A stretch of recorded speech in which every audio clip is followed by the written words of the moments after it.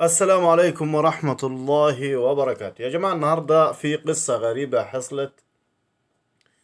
آه، قال لك من الجيزة إلى أسوان شاب مصري يخوض رحلة استكشافية على ظهر حمار. المهم خاض خاض المصري بهاء الدين علي 29 عاما رحلة غريبة من نوعها في مصر تمتد من منطقة الجيزة حتى أسوان مستخدما الحمار للتعرف على الثقافات والعادات والتقاليد المختلفة في كل مركز وقرية. وأشار بهاء الدين علي وشهرته بهاء العمدة إلى أنه من أبناء مركز المنشاه بمحافظة سوهاج لافتا إلى أنه انطلق في يوم ستة من شهر فبراير الجاري من محافظة الجيزة حتى وصل يوم أمس آه، اللي هو اليوم الأحد إلى مدينة مطاي في شمال المنيا حيث استضافه أهالي عزبة لطف الله للراحة والمبيت. وفي إطار الحديث عن سر وهدف هذه الرحلة قال الشاب المصري أن هدف جولته الطويلة التي تمتد لمسافة تتجاوز التسعمائة كيلو متر وقد تستغرق شهرا كاملا في التعرف على اللهجات والعادات والمورسات المختلفة في في كل مكان بالصعيد الجواني بالإضافة إلى الاستماع للقصص التي رواها أهالي قرية الشبك التابعة آه، لمركز البدرشين بالجيزة التي شهدت واقعة خلع قضبان الحديد وقطع السكة وقطع السكة الحديد عن القوات الإنجليزية التي كانت تدخل الواسطة. وأوضح بهاء الدين قائلا وأحاول معرفة أصل وأسماء المدن لماذا سميت بهذه الأسماء مثل مدينة أبو النمرس؟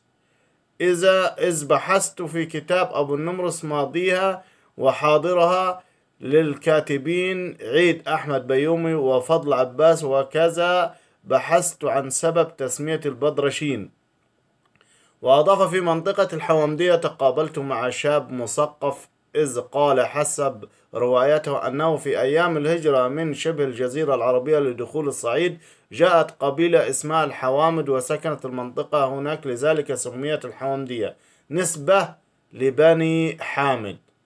وحول مشقة السفر والرحلة على ظهر الحمار لفت العمدة على أن إلى أنه واجه العديد من الصعوبات أثناء رحلته على ظهر الحمار ومنها حينما وصل إلى المنطقة بعد بين بيبا والفشن بمحافظة بني سويف حيث بني سويف حيث أن بعض الأهالي منعوه من المبيت بالطريق وعلق الشاب المصري على هذا الأمر. قائلا لا أعلم سبب خوفهم قد يكون لأنني أرتدي جلباب وأركب حمارا وبعض الأهالي رفضوا استضافتي في مركز بيبا ببني سويف.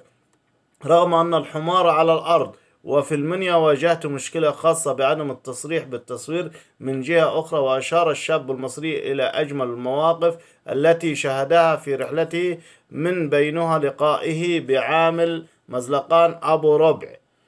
وهو شاب اسمه محمد اسمه, محمد وتابع متحدثا في عن هذا الموقف استقبلني أفضل استقبال وقدم كل ما في إمكاناته وحاول توفير كل الوسائل المتاحة لتيسير رحلتي وقضيت سهرتي معه وفي الصباح التقيت بطفل يخرج من بيته حاملا الشاي وبعض المخبوزات وأصر على تناول الإفطار معي.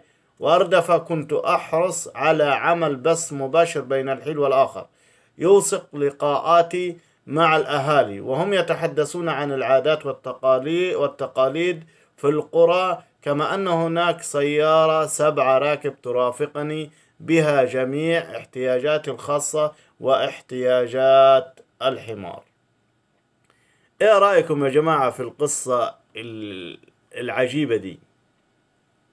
يعني الراجل ده بيلف البلاد ان هو عاوز يعرف مثلا البلاد دي سميت الايه ويعني ده عامل سبحان الله عامل زي آه، السياح. ماشي يا جماعة؟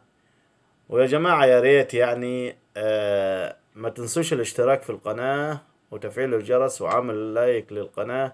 وإن شاء الله يا جماعة بإذن الله حتوصلكم كل أي حاجة غريبة بإذن الله حتوصلكم ويا جماعة ما تنسونوش بالاشتراك بالقناة. والسلام عليكم ورحمة الله وبركاته.